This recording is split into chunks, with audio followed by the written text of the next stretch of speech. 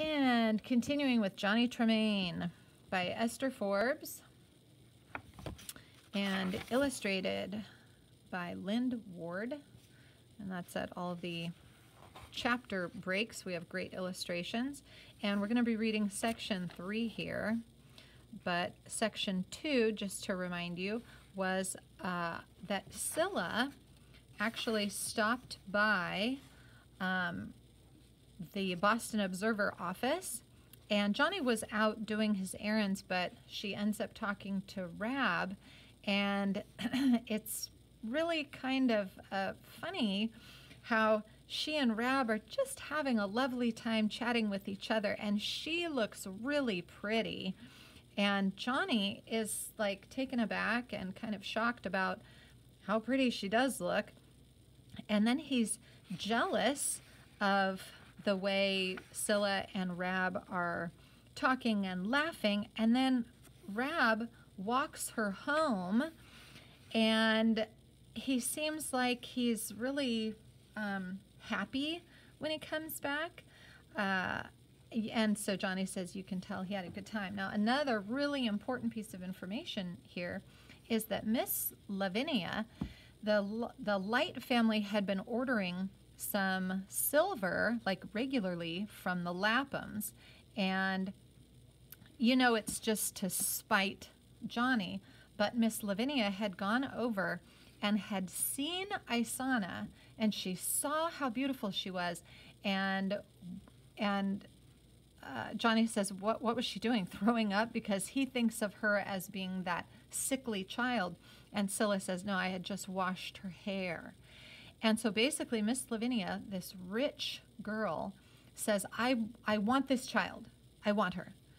And she, she basically worked out a deal with Mrs. Lapham so that Miss Lavinia could take the two girls and just have them as playmates, like little sisters. And so it just kind of speaks to how lonely Miss Lavinia is, but also how money and power kind of works its way into um, the daily routine, and then Mrs. Lapham has to like lose her two younger daughters to this rich family because they can do a better job, quote, uh, raising the daughters and affording them and feeding them and giving them nice clothing. And so, of course, the girls are like, woohoo, you know, we get all these nice things, but you lose the love of your family. So that's really sad. Anyhow, we move on into section three. Now, the only regularity in Johnny's life was the great effort he made to see Cilla every Thursday and the care he gave to Goblin. But when he went to the Afric Queen, he was going into enemy territory. The tavern had been taken over bodily by British officers, chief among whom was Colonel Francis Smith. Goblin was the only horse in the stable that did not belong to a British officer, for the landlord had sent his to the country, fearing they would either be commandeered by the occupying troops or that he could not get hay for them. About the stables, British orderlies, officers, servants, and small British horseboys, the servants of the servants, were always congregating. Johnny paid little heed to them. They all knew that he rode for the Observer, but they also knew that he often rode for their own officers.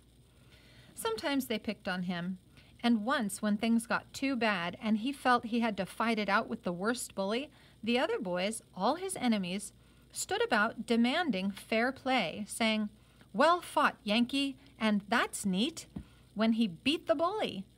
He had rather thought the whole gang would be on him the second he got the bully down, but instead they merely respected him. So he made out better than he could have expected, until one day he found that Colonel Smith had a new horse boy. The one he had brought over with him had run away. So he had told his orderly officer to find a new one, and that boy was Dove.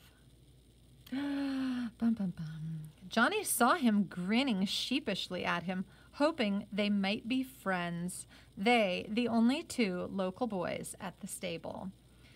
You, Johnny muttered out of the corner of his mouth, you trash, you milk pudding, you cottage cheese slug. So you're not above going to work for them, are you? Honest, Johnny, I gotta eat. Old Tweedie fired me. An orderly stuck his head in the stable. Boy, he said to Johnny, Colonel Smith has a letter to go to Milton. Please go to the parlor and see him or Lieutenant Stranger about it.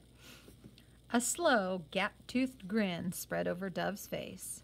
Looks like you work for them, too. Looks like, said Johnny fiercely. He saw the colonel, went home for his boots and spurs, then took out Goblin and saddled him. One of the English boys had got Dove down and was twisting his arm, making him swear allegiance to his Britannic Majesty, gracious George the Third. Dove was swearing fast enough and protesting that that was the way he really felt. All rebels should be hung. Johnny had a queer feeling at the pit of his stomach. He wanted to go to his rescue. He had to make himself remember that he hated Dove. What? Change of Johnny's character? What in this paragraph? But that fellow over there, Dove was pointing to Johnny, is really on the other side, and Johnny left Dove to his fate. It was a crisp, fresh day for summer, the first respite after a week of unendurable heat. Goblin felt fine. He came sidling out of the stable, dancing and playing. Johnny let him move about, get the kinks out of him. He loved the horse. He loved the admiration he saw on every face grooms dropping curry combs, officers looking out of windows and talking to each other and nodding toward Goblin. Chambermaids, rich Tory gentlemen, all stopped to stare when Goblin played. Although he mostly kept his eyes on Goblin's wickedly flattened ears, it's the only way you can tell which way a horse will jump next, he did notice a thick red face at the parlor window. Colonel Smith, and he heard his booming voice.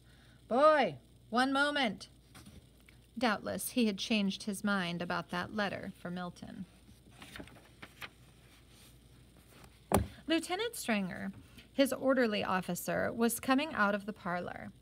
He had on no hat. His spurs were in his hand. He was a dark young fellow, not much older than Rab, and something in both his color and carriage had always made Johnny think of Rab. That's quite a horse you have there. He's all right. Well, we sort of hate to see a damned Yankee on top of a good horse like that. How much will you take? He belongs to my master, Mr. Lorne. Colonel Smith, he called to the stiff, red face at the window. This horse belongs to Lorne, the printer.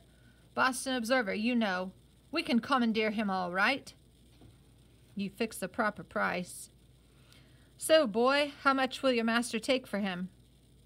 He's not for sale.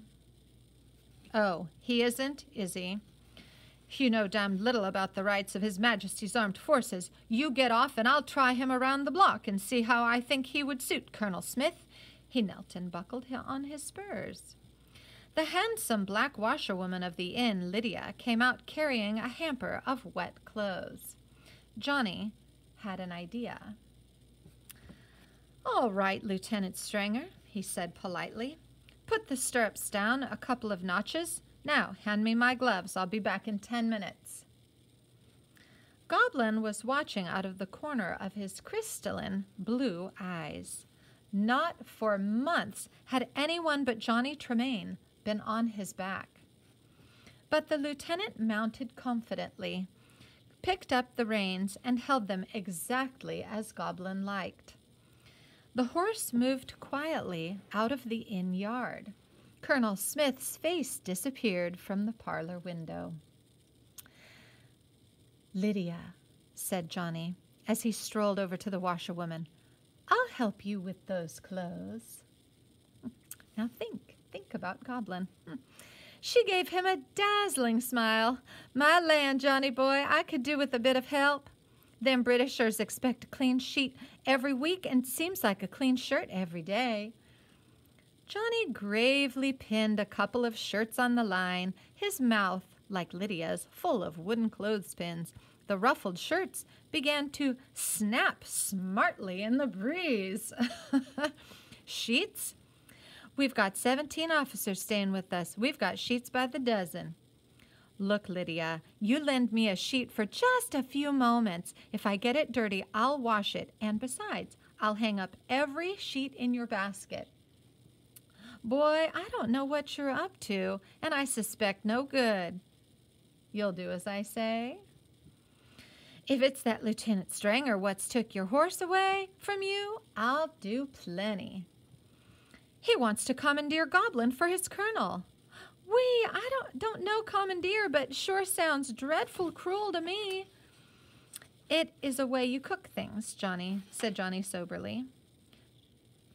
Well, that's not what commandeer means, but he's saying something to make it sound very, very bad. My land, boy, don't you let them cook that pretty horse of yours. Huh, I'll cook them first. Now look, we've got to stand fairly near to the driveway, like this. You get on that end of the sheet, and I on this, and we'll let her fill up with wind. Wait, he's coming back. So now, let go, Lydia. Let go. Quick, let go. The sheet bellied out like a sail when Lydia let go. Goblin, quickly recognizing Stranger's skill and goodwill, had behaved admirably. The lieutenant thought he'd advise his colonel to pay a pretty fancy price for such a choice beast. Colonel Smith, a timid horseman, liked showy mounts. This one was showy, all right, with his strange pale coat and mane and tail like mahogany. He was young and high strung. Stranger believed he himself would have to ride him for the next month to get him gentle enough for his superior. But his gaits were like dancing. Let me see, he was thinking. I'll offer Lorne. And then the whole earth blew up from under him and hit him a terrific blow on his seat. There was a splash as well. He had landed in a mud puddle. Now, what that means is the horse reared up and threw him off. The horse was disappearing into the stable. He, he got up ruefully, this is the man who was riding, ruefully looked at his white breeches, shrugged, and walked over to where Johnny was diligently pinning up sheets. Both he and Lydia had their backs discreetly turned, so they were not watching, but they knew what the horse would do. Well, he said to Johnny belligerently, Yes, sir. I'd already noticed your horse worries a bit over blown paper in the streets, things like that. I suppose you know that too? Yes, sir. Take those damned clothespins out of your mouth and turn around and answer me. Once the clothespins were out of his mouth, it was hard not to laugh. Answer you what, sir? You flapped that sheet on purpose just for the fun of seeing me sit in a puddle and and to keep my horse out of the army. Oh, you, said Stranger, pretending to be angry, but Johnny knew that at heart he was not. Colonel Smith's great red face once more appeared. Howdy ride, Lieutenant? Gad, sir, what? Where's the horse? Sir, what have you been mucking about in? Mud puddles, sir. I fell off. He made no excuse to excuse himself. Beast vicious, eh? No, sir, just a mite jumpy. No good for army work, nor even just hacking about Boston. But that damned boy, how does he manage? It's his horse, sir. Thanks, Lieutenant. You can look elsewhere for me. The head went in. Stranger was stretching himself lightly. I'll drink my beer standing up for a few days, he said to no one in particular. That means he can't sit down because his backside is so sore from being thrown off the horse. Then, as an afterthought, beer. Hi, kitchen! he yelled in the arrogant way Johnny noticed the young officers always called for service. Two tankards of beer out here in the yard. He turned to Johnny. What's your horse's name? Goblin. We'll drink to Goblin. Potboy, give that tankard to this young man. You know, of course, there's no real cure for a horse that shies as badly as that. I've been told he'll never be gentle. If he was as good as he looks, I'd hate to guess what he'd be worth. As it is, I'd not give fifteen shillings for him. Except, and he smiled suddenly, for myself to ride. Have you schooled him in jumping? No, we're not fancy riders over here. At the foot of the common, you'll find a series of hurdles we've put up. If happens you're over there sometime when I am, I'll show you a bit. Thank you, sir.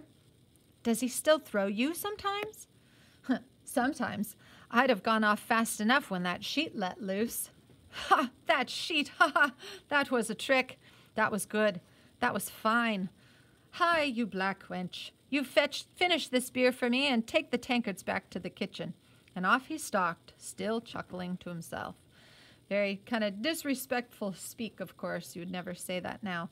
But he the point of this is that he respects Johnny more for keeping Goblin from him by an honest trick. He just basically showed him how jumpy Goblin is when around uh, loose papers, sheets, flapping clothing in the wind. So they totally did that on purpose. It was awesome. Beginning with that day when Goblin had tumbled Lieutenant Stranger in the mud, Johnny had no more trouble with the British stable boys.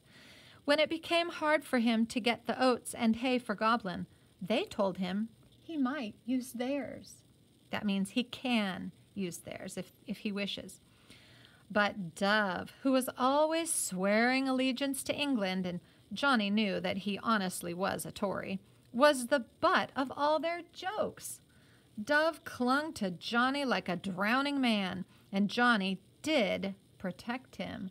What? Again, Johnny is protecting Dove. He could not help himself, so Dove began oozing into his life. Like a thick mud. He spent most of his free time at the observer's office and was always complaining, always gorging himself on the scarce food, and bored both Johnny and Rab. But Rab said, and Johnny knew this was true, sometime the British would not stay tamely shut up in Boston.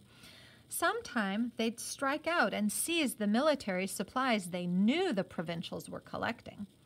A colonel's horseboy might very well know a day or so, even or even a few hours before a colonel marched. It was up to Johnny to keep in touch with Dove. It was all right for Rab to talk. Rab was training with the armed forces. But what could Johnny do? Not much, it seemed to him, except be bored to death for his country. End of section three and end of this video. Click subscribe and come back and see what happens.